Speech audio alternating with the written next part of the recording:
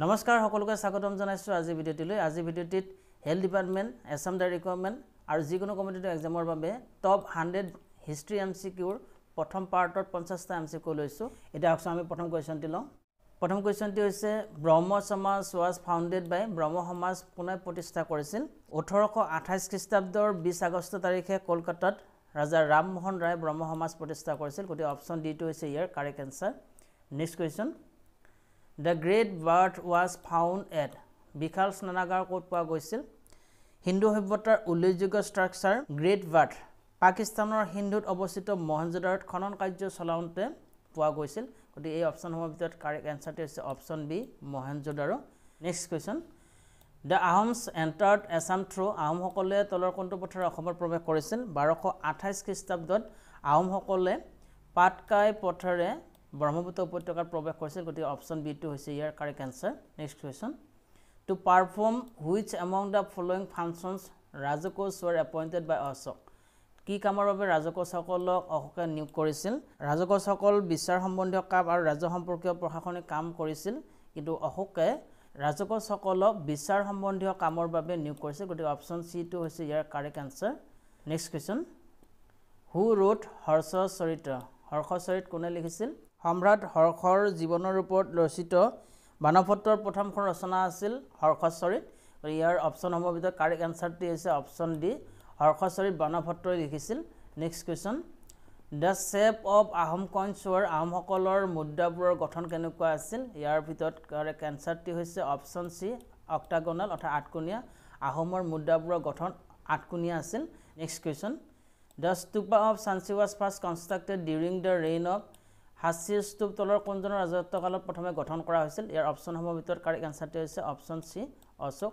অশোকৰ ৰাজত্বকালত হাচিৰ স্তূপ প্ৰথমে গঠন কৰা হৈছিল। Next question which of the following Muslim leaders invaded India seventeen times তলৰ কোনজন মুছলিম শাসকে সোতৰবাৰ ভাৰত আক্ৰমণ কৰিছিল? আৰু এই অপশ্যনসমূহৰ ভিতৰত কাৰেক্ট এনচাৰটি হৈছে অপশ্যন এ মহম্মদ গজনী। মহম্মদ গজনীয়ে ভাৰত সোতৰবাৰ আক্ৰমণ কৰিছিল। Next question the Saraighat battle between the Ahoms and Mughals was fought in the year Ahom আৰু মোগলৰ মাজত কেতিয়া শৰাইঘাটৰ যুদ্ধ হৈছিল? আহোম আৰু মোগলসকলৰ মাজত ষোল্লশ এসত্তৰ খ্ৰীষ্টাব্দত শৰাইঘাটৰ যুদ্ধ হৈছিল আৰু এই যুদ্ধত মোগলৰ সেনাপতি আছিল ৰামসিংহ আৰু আহোমৰ সেনাপতি আছিল লাচিত বৰফুকন। এইটো মনত ৰাখিব। Next question when did Alexander invade India আলেকজেণ্ডাৰে কেতিয়া ভাৰত আক্ৰমণ কৰিছিল? এই অপশ্যনসমূহৰ ভিতৰত কাৰেক্ট এনচাৰটি হৈছে অপশ্যন ডি তিনিশ সাতাইছ খ্ৰীষ্টপূৰ্বত। তিনিশ সাতাইছ খ্ৰীষ্টপূৰ্বত আলেকজেণ্ডাৰে ভাৰত আক্ৰমণ কৰিছিল। Next question in which year the partition of Bengal revoke by the British government British চৰকাৰে কেতিয়া বংগভংগ প্ৰত্যাহাৰ কৰিছিল?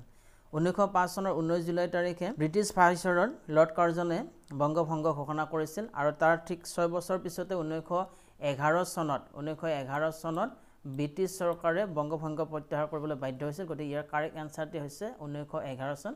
ব্ৰিটিছ চৰকাৰে ঊনৈছশ এঘাৰ চনত বংগভংগ প্ৰত্যাহাৰ কৰিছিল।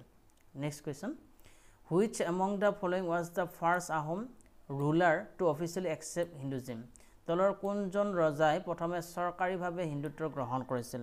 আৰু ইয়াৰ অপশ্যনসমূহৰ ভিতৰত কাৰেক্ট এনচাৰটি হৈছে অপশ্যন এ জয়ধ্বজ সিংহ। জয়ধ্বজ সিংহই প্ৰথমে চৰকাৰীভাৱে হিন্দুত্ব গ্ৰহণ কৰিছিল। Next question in Bengal the headquarters of East India company were located at বেংগলত East India কোম্পানীৰ মুখ্যালয় ক'ত অৱস্থিত আছিল? আৰু ইয়াৰ অপশ্যনসমূহৰ ভিতৰত কাৰেক্ট এনচাৰটি হৈছে অপশ্যন চি ফৰ্ট উইলিয়াম। বেংগলৰ ফৰ্ট উইলিয়ামত ইষ্ট ইণ্ডিয়া কোম্পানীৰ মুখ্য কাৰ্যালয় অৱস্থিত আছিল।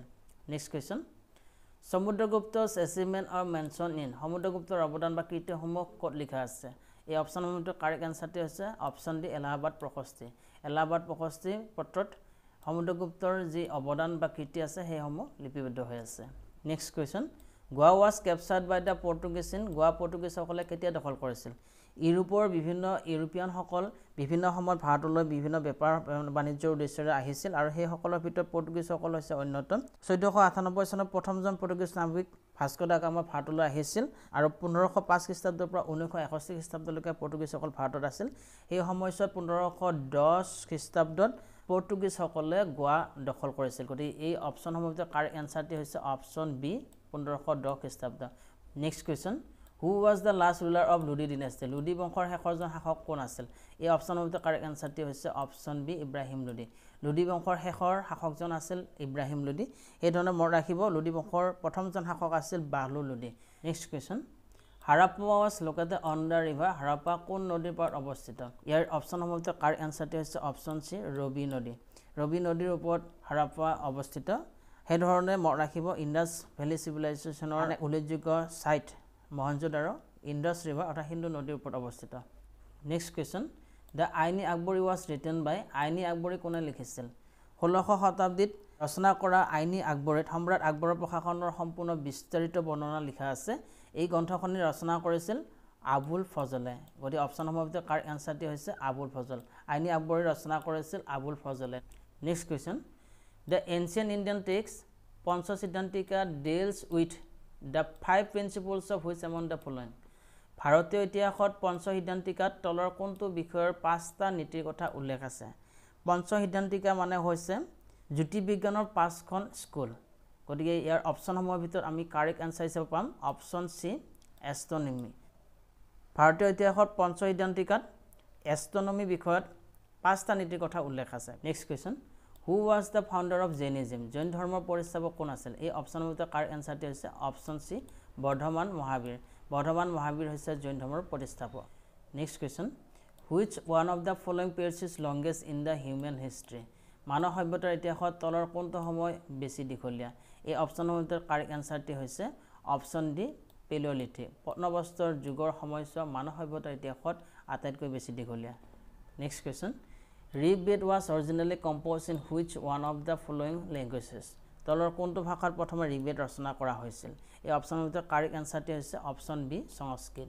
সংস্কৃতত ৰিবেড প্ৰথমে ৰচনা কৰা হৈছিল। Next question in which of the following states of India the largest number of Harappan sites have been found তলৰ কোনখন ৰাজ্যত বেছিকৈ হৰপ্পা স্থলী পোৱা গৈছিল?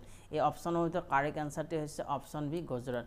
গুজৰাটৰ আটাইতকৈ বেছি হৰপ্পা চাইটছ পোৱা গৈছিল next question who among the following Gupta kings assume the title of Vikramaditya তলৰ কোনজন গুপ্ত বংশৰ ৰজাই বিক্ৰমাদিত্য উপাধি গ্ৰহণ কৰিছিল? এই অপশ্যনৰ ভিতৰত কাৰেক্ট এনচাৰটি হৈছে option C Chandragupta two Chandragupta টুৱে Vikramaditya উপাধি লাভ কৰিছিল। Next question which governor general declare that Awadh was being mis and British rule was needed to ensure' proper administration তলৰ কোনজন গভৰ্ণৰ জেনেৰেলে অৱধত কুশাসনৰ ঘোষণা কৰি ব্ৰিটিছ ৰাজে পোষকতা কৰিছিল?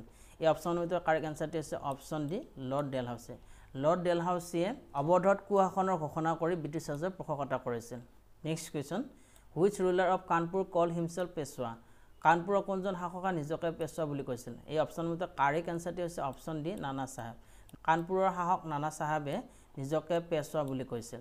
Next question to whom did Alauddin খিলজিৰ entrust the mission to conquer south দক্ষিণ বিজয়ৰ মিছনৰ বাবে আলাউদ্দিন খিলজিয়ে কাক দায়িত্ব অৰ্পণ কৰিছিল? এই অপশ্যনৰ ভিতৰত কাৰেক্ট এনচাৰটি হৈছে অপশ্যন বি মালিক কফুৰ। মালিক কফুৰক দক্ষিণ বিজয়ৰ মিছনৰ বাবে আলাউদ্দিন খিলজিয়ে দায়িত্ব অৰ্পণ কৰিছিল next question the last dynasty of the Delhi sultan was Delhi চুলতানসকলৰ অন্তিম বংশটো কোনটো আছিল? এই অপশ্যনৰ ভিতৰত কাৰেক্ট এনচাৰটি হৈছে option C Ledo dynasty Ledo ডিনেষ্টি হৈছে দিল্লী চুলতানসকলৰ অন্তিমটো বংশ।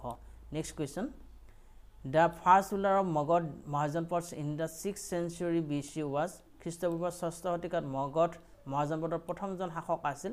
এই অপশ্যনৰ ভিতৰত কাৰেক্ট এনচাৰটি হৈছে অপশ্যন বি বিম্বিচৰা বিম্বিচৰা হৈছে খ্ৰীষ্টপূৰ্ব ষষ্ঠ শতিকাত মগধ মহাজনপদৰ প্ৰথমজন শাসক। Next question B C stands for B চিৰ সম্পূৰ্ণ অৰ্থটো হৈছে অপশ্যন ভিতৰত কাৰেক্ট এনচাৰটি হৈছে option A before Christian year next question at the stroke of midnight when the world sleeps India will awake to life and freedom who said this ঠিক মাজনিশা যেতিয়া বিশ্বই শুব ভাৰতে জীৱন আৰু স্বাধীনতাৰ বাবে সাৰে থাকিব। এই কথাষাৰ কোনে কৈছিল? এই কথাষাৰ পণ্ডিত জৱাহৰলাল নেহৰুৱে যেতিয়া ভাৰতে স্বাধীনতা লাভ কৰাৰ সময় হৈছিল ঊনৈছশ সাতচল্লিছ চনৰ চৈধ্য আগষ্টৰ মাজনিশা ভাৰতবাসীৰ উদ্দেশ্যে এই কথাষাৰ কৈছিল। তেওঁৰ যি বক্তৃতা আছিলে সেই সময়ত সেই বক্তৃতাত পণ্ডিত জৱাহৰলাল নেহৰুদেৱে এই ধৰণে কৈছিল ঠিক মাজনিশা যেতিয়া বিশ্বই শুব ভাৰতে জীৱন আৰু স্বাধীনতাৰ বাবে সাৰে থাকিব। Next question which of the following sites is not connected with the Indus village civilization তলৰ কোনটো হিন্দু সভ্যতাৰ সৈতে জড়িত নহয় এই অপশ্যনসমূহ যদি আমি চাওঁ ইয়াৰ লোথাল হিন্দু সভ্যতাৰ সৈতে জড়িত ৰূপাৰ হিন্দু সভ্যতাৰ সৈতে জড়িত আৰু কালিবংগনৰ হিন্দু সভ্যতাৰ সৈতে জড়িত গতিকে অপশ্যন চিটো হ'ব ইয়াৰ কাৰেক্ট আনচাৰ অৰ্থাৎ মথুৰা হিন্দু সভ্যতাৰ সৈতে জড়িত নহয়।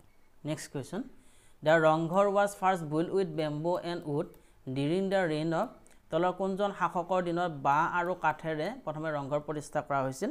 আহোমসকলৰ বিভিন্ন ৰূপে ব্যৱহাৰ কৰা এটা দুমলীয়া ঐতিহাসিক গৃহ ৰংঘৰ শিৱসাগৰত অৱস্থিত আৰু এই ৰংঘৰটি ৰুদ্ৰসিংহৰ ৰাজত্ব কালত প্ৰথমে বাঁহ আৰু কাঠেৰে প্ৰতিষ্ঠা কৰা হৈছিল গতিকে অপশ্যন চিটো হৈছে ইয়াৰ correct answer next question the first railway line in India was laid under whose rule তলৰ কোনজনৰ শাসনকালত ভাৰতৰ প্ৰথমে ৰেলপথ আৰম্ভ হৈছিল? এই অপশ্যনসমূহৰ ভিতৰত কাৰেক্ট এনচাৰটি হৈছে option C lord Dalhousie.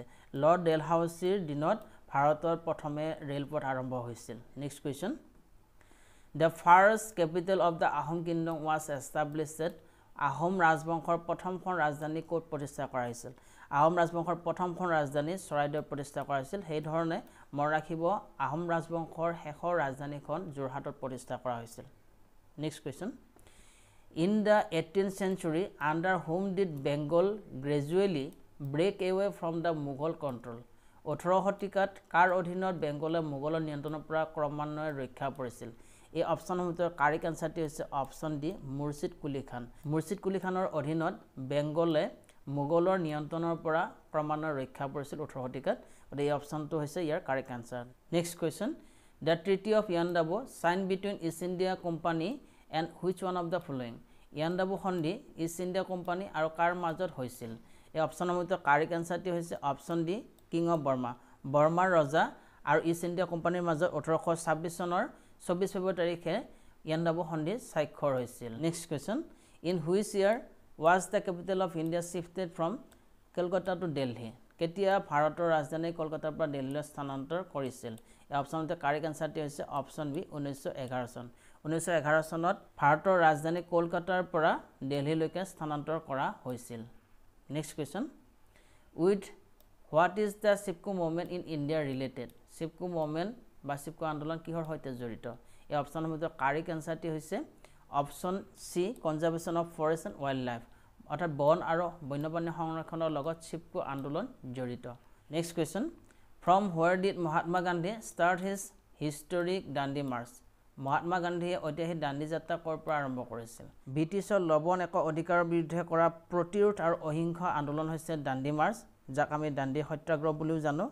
ঊনৈছশ ত্ৰিছ চনৰ বাৰ মাৰ্চৰ পৰা ত্ৰিছ চনৰ ছয় এপ্ৰিললৈকে মুঠ চৌব্বিছ দিন এই দাণ্ডি মাৰ্চ যাত্ৰা কৰা হৈছিল। এই দাণ্ডি মাৰ্চ যাত্ৰা মহাত্মা গান্ধীয়ে সবৰমতী আশ্ৰমৰ পৰা আৰম্ভ কৰা এই দাণ্ডি মাৰ্চ গুজৰাটৰ দাণ্ডিলৈকে কৰা হৈছিল। গতিকে এই অপশ্যনৰ ভিতৰত কাৰেক্ট এনচাৰটি হৈছে অপশ্যন বি সবৰমতী আশ্ৰম। সবৰমতী আশ্ৰমৰ পৰা মহাত্মা গান্ধীয়ে ঐতিহাসিক দাণ্ডি যাত্ৰা আৰম্ভ কৰিছিল। Next question who was the Greek ambassador present in the court of Chandragupta Maurya. Chandragupta Maurya ৰাজসভাত তলৰ কোনজন গ্ৰীক ৰাষ্ট্ৰদূত উপস্থিত আছিল? এই অপশ্যনৰ ভিতৰত কাৰেক্ট এনচাৰটি হৈছে option D Megasthenes Megasthenes Chandragupta মৌৰ্যৰ ৰাজসভাত উপস্থিত থকা গ্ৰীক ৰাষ্ট্ৰদূত আছিল। Next question who was call the Napoleon of ancient India কোনজনক পুৰণি ভাৰতবৰ্ষৰ নেপলিয়ন বুলি কোৱা হৈছিল? এই অপশ্যনৰ ভিতৰত কাৰেক্ট এনচাৰটি হৈছে অপশ্যন ডি সমুদ্ৰগুপ্ত। সমুদ্ৰগুপ্তক পুৰণি ভাৰতবৰ্ষৰ নেপলিয়ন বুলি কোৱা হয়। Next question king Porus was defeated by Alexander the great in the battle of ৰজা পুৰুষ আলেকজেণ্ডাৰৰ লগত কোনখন যুদ্ধত পৰাস্ত হৈছিল? ইয়াৰ কাৰেক্ট এনচাৰটি হৈছে অপশ্যন ডি হাইডাছপাছ হাইডাছপাছৰ যুদ্ধত ৰজা পুৰুষ আলেকজেণ্ডাৰৰ লগত পৰাস্ত হৈছিল। অপশ্যন ডিটো হৈছে ইয়াৰ correct answer next question who was the author of the book Indica Indica কিতাপখনৰ লিখকজন কোন? প্ৰাচীন গ্ৰীচৰ এজন পৰ্যটক তথা ভূগোলবিদ মেগাষ্টেনেছ হৈছে। ইণ্ডিকা কিতাপখনৰ লিখক। গতিকে অপশ্যন বিটো হৈছে ইয়াৰ correct answer next question Kautilya was the prime minister of which of the following Indian rulers তলৰ কোনজন শাসকৰ ৰাজদৰবাৰত কটিল প্ৰধানমন্ত্ৰী হিচাপে আছিল? এই অপশ্যনটোৰ কাৰেক্ট এনচাৰটি হৈছে অপশ্যন এ চন্দ্ৰগুপ্ত মৌৰ্য। চন্দ্ৰগুপ্ত মৌৰ্যৰ শাসনকালত কটিল প্ৰধানমন্ত্ৰী হিচাপে আছিল। Next question who ascend the throne of Delhi sultanate after the death of Qutbuddin Aibak Qutbuddin আইবাকৰ মৃত্যুৰ পিছত দিল্লীৰ সিংহাসন কোনে দখল কৰিছিল? কুতুবুদ্দিন আইবাকৰ মৃত্যুৰ পিছত আৰাম শ্বাহে কিছুদিনৰ বাবে দিল্লী সিংহাসনত বহিছিল যদিও আৰাম শ্বাহক পৰাস্ত কৰি ইলটুটমিছে দিল্লীৰ ৰাজ সিংহাসন দখল কৰিছিল। গতিকে অপশ্যন বিটো হৈছে ইয়াৰ কাৰেক্ট এনচাৰ কুতুবুদ্দিন আইবাকৰ মৃত্যুৰ পিছত দিল্লী সিংহাসন দখল কৰিছিল ইলটুটমিছে next question who wrote the book Ramcharitmanas Ramcharitmanas কিতাপখন কোনে লিখিছিল? এই অপশ্যন ভিতৰত কাৰেক্ট এনচাৰটি হৈছে অপশ্যন চি তুলসী দাস। তুলসী দাসে ৰামচৰিত মানস কিতাপখন লিখিছিল। Next question which Mughal emperor founded his own religion Din Ilahi কোনজন মোগল সম্ৰাটে তেওঁৰ নিজৰ ধৰ্ম দিন ইলাহী প্ৰতিষ্ঠা কৰিছিল? এই অপশ্যনৰ ভিতৰত কাৰেক্ট এনচাৰটি হৈছে আকবৰ। আকবৰে তেওঁৰ নিজৰ ধৰ্ম দিন ইলাহী প্ৰতিষ্ঠা কৰিছিল আজি খণ্ডতে লাষ্ট কুৱেশ্যনটো লৈছোঁ। The quit India movement was launch in the year ভাৰতীয় আন্দোলন কেতিয়া আৰম্ভ কৰা হৈছিল? ঊনৈছশ বিয়াল্লিছ চনৰ আঠ আগষ্ট তাৰিখে ভাৰতীয় আন্দোলন যাক আমি আগষ্ট ক্ৰান্তি বুলিও জানো আৰম্ভ কৰা হৈছিল। গতিকে এই অপশ্যনৰ ভিতৰত কাৰেক্ট এনচাৰটি হৈছে অপশ্যন ডি ঊনৈছশ বিয়াল্লিছ ঊনৈছশ বিয়াল্লিছ চনত ভাৰতীয় আন্দোলন আৰম্ভ কৰা হৈছিল। এই প্ৰশ্নটোৰে আজিলৈ সামৰিছোঁ। পৰৱৰ্তী সময়ত পুনৰ এনেধৰণৰ কুৱেশ্যন লৈ আহিম। ভিডিঅ'টি যদি চাই ভাল পাইছে লাইক কমেণ্ট আৰু শ্বেয়াৰ কৰিব। আৰু লগতে চেনেলটি যদি এতিয়ালৈকে ছাবস্ক্ৰাইব কৰা নাই তেনেহ'লে চেনেলটি ছাবস্ক্ৰাইব কৰিব। ধন্যবাদ।